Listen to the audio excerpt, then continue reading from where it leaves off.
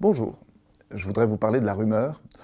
Euh, comme un spécialiste des médias que je suis, euh, et pas comme un psychologue, un psychanalyste, un sociologue, euh, alors qu'il y a, vous allez voir dans ma présentation, pas mal de gens qui se sont déjà saisis du problème. Mais je vais essayer de vous en, parler comme d'un problème de médias, et de deux manières différentes. D'abord pour aussi vous montrer que la rumeur, quand on essaie de l'étudier sur un plan scientifique, on a du mal, on a vraiment du mal, dès le début.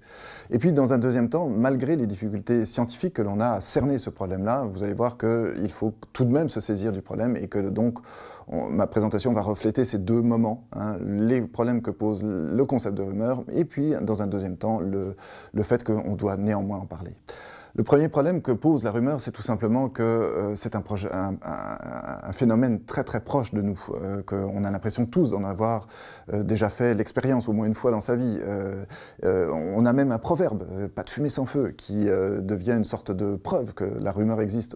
Vous le savez peut-être, les rumeurs, les proverbes, pardon, ne sont pas des très très bonnes définitions, des très bons indicateurs scientifiques. Hein. Il y a des proverbes qui disent le, contraire de, l'un de l'autre, tel père tel fils ou bien euh, à Père Avare, fils prodigue, par exemple. Donc on voit que le proverbe est une mauvaise euh, approche hein, de la rumeur. Mais néanmoins, ce fameux pas de fumée sans feu est très très fort.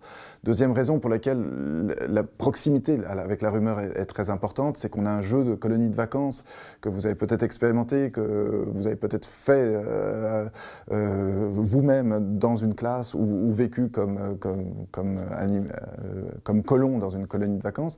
ce Le jeu du téléphone, c'est un jeu qui consiste simplement à faire circuler un message tout au long d'une chaîne de relais. Hein, et on s'aperçoit qu'au début et à la fin de la chaîne, le message a totalement été déformé par le simple fait de répéter eh bien, c'est pas très malin parce que oui, c'est vrai, mais ça ne définit pas la rumeur. La rumeur, elle circule pas comme ça dans la vraie vie. Euh, dans la vraie vie, je ne suis pas sur un trottoir euh, à faire, euh, à entendre ce qu'on me dit et à le faire, à répéter immédiatement juste après, ni devant une machine à café. Ce n'est pas comme ça que ça se passe. puis, troisième élément de proximité, de grande proximité avec la rumeur, c'est le fait qu'il y a une quasi-mode de ce terme-là. on peut le caractériser facilement dans la littérature, par exemple, du 15e au 20e siècle. On s'aperçoit que du 15e au 19e, le mot rumeur est très peu utilisé, euh, il désigne autre chose. Euh, et puis tout d'un coup, au 19e, 20e, pouf, ça explose, ça devient une vraie, véritable mode langagière. Même chose dans les médias, naturellement. Aujourd'hui, il y a des chercheurs qui montrent qu'un un mot sur 50, un mot sur 40 est le mot rumeur. Donc on voit que c'est quelque chose qui fait partie d'un lexique extrêmement usuel. Deuxième problème que pose la rumeur, c'est le fait que c'est difficile, c'est un, concept, un phénomène difficile à caractériser. On n'a pas de, marqueur linguistique, c'est pas comme la charade, où on aurait mon premier, mon deuxième, mon troisième, euh, et mon tout, hein, ça, c'est une charade. Eh bien, on n'a pas la même chose avec euh, la rumeur. Donc, on est obligé de se contenter d'éléments de, de, diagnostic a posteriori. Euh, c'est généralement que le phénomène est caractérisé après sa diffusion. On a, du mal à le diffuser, à, le caractériser avant sa diffusion. Deuxième élément euh, qui rend difficile sa caractérisation, c'est le fait que numériquement, on ne sait pas à partir de combien on a un phénomène de rumeur. Est-ce que c'est 3 personnes, c'est 10 personnes, c'est 100 personnes? On ne le sait pas. Il n'y a pas de, notion, comment dire, euh, mesurable, de mesure de la rumeur, il n'y a pas de rumoromètre. Euh, et c'est un problème en fait qui fait écho à de vieux, philosophes de l'école de Mégaré, moins 400 ans avant Jésus-Christ, qui déjà posaient le problème, mais avec des tas, des tas de grains de sable ou des tas de grains de quelque chose. Eh bien, euh, dans l'ensemble de ces problèmes-là, il y en a un supplémentaire qui s'ajoute, c'est le fait que le rapport à la véracité de la rumeur n'est pas très clair. Euh, on a l'impression que le mot rumeur désigne des choses fausses. Eh bien, quand on étudie les exempliers, l'ensemble des, bouquins dans lesquels on fait des exemples, on collectionne les rumeurs, on s'aperçoit que de toute manière, il y a toujours une, petite part, mais une part importante quand même, une dizaine de pourcents, de rumeurs qui sont soit vraies, soit probablement vraies, etc. Et donc, ce rapport à la véracité rend les choses difficiles. toute rumeur n'est pas fausse. Alors, à ça, il faut rajouter le fait que la rumeur est un concept historique. Il a été euh, fabriqué, en fait. Il a été euh, fabriqué par des théoriciens. Des, théories, des théoriciens qui ont fait des théories. La première date de 1900-1902, euh, sous la plume de William Stern, un, Allemand. La deuxième sous la plume de Jung, un Suisse, un Suisse-Allemand cette fois-ci, qui a étudié la rumeur également, mais d'une manière différente. Et puis la troisième sous la, la plume d'un Américain, Gordon Allport, qui l'a radicalement changé puisqu'il s'en est servi pour étudier le moral des troupes, non, le moral, pardon, des, populations américaines pendant la guerre. et face à, la, comment dire, propagande nazie, il essayait de voir si les rumeurs pouvaient être des indicateurs de la pénétration de la propagande nazie. Alors on voit que, euh, à cause de tous ces problèmes-là, que ce sont soit des problèmes de caractérisation, de lieu commun, enfin de sens commun, ou de théorisation et d'histoire, historicité de la rumeur, le fait que la rumeur est un concept historique, eh bien, on a un véritable problème scientifique. Cela n'empêche pas que la rumeur, elle, existe, elle est utilisée, on s'en sert. On s'en sert euh, en particulier, enfin, il y a plusieurs personnes qui s'en servent. Les victimes, celles qui s'estiment victimes de la rumeur, elles, utilisent ce mot-là. On ne peut pas leur dire, bah non, ce n'est pas une rumeur, elles s'estiment victimes.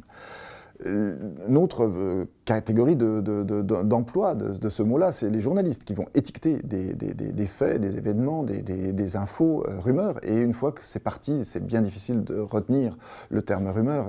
Il est, il est, dans le temps, il évolue, mais en tout cas, une fois que c'est diagnostiqué rumeur, c'est souvent assimilé à des rumeurs. Et troisième raison, c'est qu'on retrouve du coup l'ensemble de ces récits dans des exempliers. Alors avant, les exempliers étaient des livres qui étaient publiés, qui le sont toujours d'ailleurs euh, dans, des librairies, euh, mais on trouve ça aussi sous forme numérique dans des sites, des sites de référence de la rumeur. Le plus connu, connu aux États-Unis, c'est Snopes.com, en France, c'est Oxbuster.com.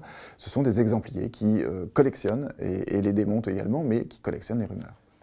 La rumeur est donc diagnostiquée. Maintenant, elle révèle également des choses du fonctionnement de la société médiatique. La première chose qu'elle révèle, c'est probablement euh, le fait que ce n'est pas une déviance seulement, en tout cas, euh, du système médiatique, c'est également la vie du système médiatique.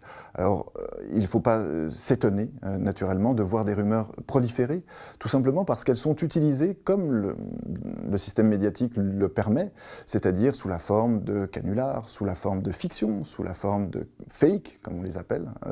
et en, soi, ce ne sont pas des pratiques déviantes, ce sont des pratiques simplement usuelles de, comment dire, d'entre-soi, pour établir des entre-soi. Alors l'un des exemples les plus, euh, qui me, moi me, parle le plus, c'est par exemple les SMS que j'appelle les SMS fait tourner à l'intérieur d'une communauté de collégiens. Euh, on reçoit quelquefois des SMS euh, qui ne servent à rien, si ce n'est si, tu es très belle, envoie ce message à tous tes amis car ça voudra dire que tu es très belle, ou, etc. Ces messages-là, les adultes ne le reçoivent pas. Cela circule en revanche abondamment dans la communauté des collégiens. Et cela sert à quoi? Eh bien, cela sert précisément à faire du lien social. On voit que là, ce n'est pas une déviance, c'est une pratique de sociabilisation. Euh, la rumeur sert probablement à la même chose dans des cas euh, plus, euh, comment dire, anecdotiques, ou aussi anecdotiques, mais par exemple dans le domaine politique, lorsqu'on parle de la maîtresse d'un tel ou d'un tel, cela nous sert de la même manière à réassurer du lien social autour de nous sans trop nous engager. Le deuxième euh, comment dire, enjeu que cela révèle, la, rumeur révèle également le fait que nous utilisons euh, nos croyances euh, dans la sphère médiatique, dans la sphère sociale, que les croyances c'est quelque chose de, relativement établi, de connu, on ne s'en étonne pas, hein. on peut croire en Dieu, on peut croire, on peut être superstitieux, on peut...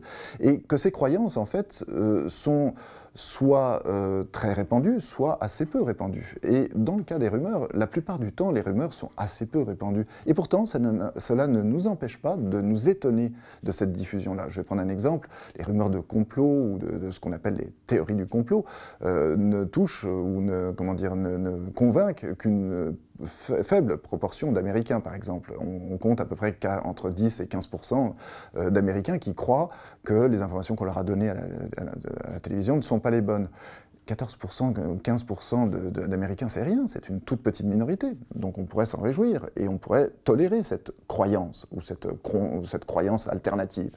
Eh bien oui, on peut, parce que c'est une faible proportion, et en même temps, on ne peut pas s'en empêcher de penser que 14% de 300 millions d'Américains, ça représente tout de suite, euh, je ne sais plus, 40 millions de personnes, c'est-à-dire beaucoup, beaucoup de personnes sans parler d'un possible passage à l'acte. C'est-à-dire que parmi ces personnes qui sont convaincues du contraire de l'information officielle, eh il peut y avoir des gens qui sont un peu plus euh, fragiles et qui vont passer à l'acte. Euh, il y a un exemple récent dans l'actualité euh, de quelqu'un qui est arrivé dans une pizzeria avec un fusil à la main et qui a, tiré en l'air en pensant démonter un réseau pédophile. Donc on voit que le passage à l'acte peut arriver, mais il serait peut-être arrivé en dehors de toute rumeur. Alors, le phénomène de la croyance est également quelque chose d'étrange parce qu'il n'est euh, absolument pas corrélé avec euh, le savoir. Alors je vais prendre un exemple, là un exemple euh, assez classique, le fait que les croyances dans le paranormal, dans, le, je sais pas, dans les extraterrestres par exemple, augmentent avec le nombre de diplômes que l'on a. C'est une étude qui est assez connue qui montre que les diplômes ne protègent pas de la croyance. Mais dans le fond, pourquoi est-ce qu'il protégerait? C'est pas parce qu'on a réussi énormément d'examens qu'on devrait forcément croire moins dans des choses aussi fondamentales que euh, le paranormal. Je ne sais pas si c'est fondamental, mais ça reste en tout cas une question. Une fois qu'on a étudié ce problème de la croyance, on peut aussi se dire euh, que euh, la rumeur n'est peut-être pas non plus qu'une croyance, mais aussi un savoir. Un savoir qui est diffusé alors euh, de manière très étrange, parce qu'elle n'est pas diffusée. Hein. Les rumeurs, on ne les voit pas dans les, livres, de classe. Hein. On les voit essentiellement dans les, comment dire, les, supports médiatiques. Et là, il y a quatre manières, lorsqu'on est dans les médias, pour diffuser la rumeur. Je vais vous les énoncer assez rapidement. La première, c'est l'erreur journalistique. La deuxième, c'est l'inspiration scénaristique. La troisième, c'est le fait que la rumeur est aussi un objet d'étude dans les médias. Et enfin, que la rumeur peut servir de, peut être démentie et qu'à cette occasion-là, elle est largement diffusée. Le premier exemple, naturellement, l'erreur journalistique, c'est très rare, mais c'est tellement marquant et c'est tellement délicieux, naturellement, que tout le monde se, plaît à en parler. Euh, il y a euh, des tas de canulars qui se transforment en rumeurs parce que simplement le journaliste s'est fait prendre à son tour. Euh, ça arrive plus souvent qu'à son tour. Deuxième raison, c'est le fait que les scénaristes, dans les, fictions, hein, les, séries, les films, mais aussi les romans d'ailleurs, les jeux vidéo, se servent souvent de ces, comment dire, ces motifs folkloriques qu'on retrouve dans les rumeurs, dans les légendes contemporaines, les légendes urbaines, et vont s'en servir comme d'un élément de scénario. Alors évidemment, les rumeurs, elles circulent. Troisième élément, le fait que euh, la rumeur est un objet d'étude et qu'on écrit des livres dessus. Euh, j'en suis en partie responsable. Euh, et donc, naturellement, dans tous ces livres-là qui ont été écrits sur la rumeur, on, diffuse effectivement des rumeurs, puisqu'on s'en sert comme d'exemple pour prouver des choses. La rumeur était également diffusée dans les médias sous la forme d'un démenti, c'est-à-dire que pour démentir la rumeur, eh bien, on croit bien faire et en même temps, on la diffuse. On la diffuse largement. Alors, je vais prendre un exemple l'affaire Adjani. L'affaire Adjani, c'est euh, quelque chose qui s'est passé dans les années 80, une actrice euh, connue déjà à l'époque qui euh, devient la cible d'une rumeur, quelque chose qui circule. Alors ça circule déjà en par voie de presse, hein, généralement, mais ça ne touche que 26% de la population française avant le démenti absolument magistral que va infliger l'actrice sur une chaîne de grande écoute un dimanche à 20h30. et le lendemain, immédiatement après le démenti, on s'aperçoit que 85% de la population française connaît la rumeur. Qu'est-ce qu'on en conclut? On en conclut que le démenti diffuse la rumeur, augmente la notoriété de la rumeur. C'est déjà un problème en soi. Mais il y a plus embêtant. C'est qu'on s'aperçoit que la rumeur est également, à ce moment-là, lorsqu'elle est démentie, elle est démentie, mais elle laisse toujours une part de doute, puisqu'on va toucher, au moment où on va énoncer le démenti, on va toucher énormément de personnes qui n'étaient pas au courant euh, de la rumeur initiale et qui vont par conséquent se demander mais pourquoi est-ce qu'on me parle de quelque chose que je ne connais pas en plus pour me dire que ce n'est pas vrai. C'est donc qu'il y a quelque chose. Et donc le fait de démentir non seulement augmente la notoriété, mais augmente aussi la crédulité. C'est-à-dire si on regarde le nombre de gens qui croyaient avant et le nombre de gens qui croyaient après, ou plutôt le nombre de gens qui avaient un doute avant et le nombre de gens qui avaient un doute après, on s'aperçoit qu'on multiplie le nombre de gens qui ont un doute simplement parce qu'on a touché des gens nouveaux, des naïfs, qui n'étaient pas au courant et qui du coup vont avoir un doute sur la véracité de l'information qu'on leur assène. Donc on voit que le démenti a quelque chose d'assez euh, compliqué à, utiliser et que, en tout cas, ce n'est pas une recette magique. Euh, heureusement, donc, face à cet ensemble de, comment dire, de, manières de diffuser la rumeur, hein, que ce soit euh, les, donc, les démentis, mais aussi donc, euh, les, exemples de, dans les scénarios, les exemples dans les ouvrages ou les erreurs journalistiques, on, a heureusement des garde-fous, des garde-fous techniques, des garde-fous méthodologiques. On a aussi l'éducation aux médias. Après tout, c'est quand même un très très bon garde-fou, une espèce d'éducation à l'esprit critique. on n'est pas très bon, vous le savez, parce que même les adultes, ou, surtout les adultes d'ailleurs, on n'a pas de méthode universelle pour diagnostiquer, pour caractériser le vrai du faux, le, tendancieux de l'objectif, l'abstrait du concret. Enfin bref, ce sont des problèmes compliqués, mais néanmoins, alors en particulier dans le domaine informatique, numérique, on sait qu'on a quelques outils, on a les moteurs de recherche qui nous permettent de diagnostiquer relativement vite une rumeur si on sait bien s'en servir. Il y a quelques outils aussi de reconnaissance d'images qui permettent de le faire.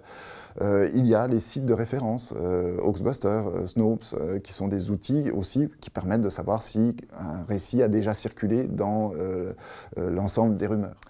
En conclusion, vous le voyez, le savoir sur la rumeur ou l'interrogation sur la rumeur nous oblige à l'humilité en fait. On n'a pas beaucoup de recettes magiques. En revanche, c'est un moment absolument intéressant et passionnant euh, pour étudier le fonctionnement de notre société médiatique, euh, qui est désormais médiatique, on ne peut pas revenir en arrière, et, surtout en arrière, ça n'était peut-être pas si incroyable. Euh, et ce, phénomène, ce phénomène de rumeur, nous permet donc de poser des questions intéressantes, il me semble en tout cas, sur la véracité, sur la crédulité, mais sur aussi les instances de légitimation, de diffusion de tous ces savoirs qui, vous le voyez, sont pas, qui sont la plupart du temps très anecdotiques. Alors c'est la notion d'anecdote n'est pas terrible, parce qu'il y a des gens qui sont victimes de ces anecdotes-là. Mais euh, néanmoins, c'est rarement euh, des, des, grandes théories ou des grands événements. La, la, rumeur se caractérise par ce côté futile et évanescent, euh, que, voire trivial, hein, que l'on caractérise dans d'autres domaines de notre société médiatique.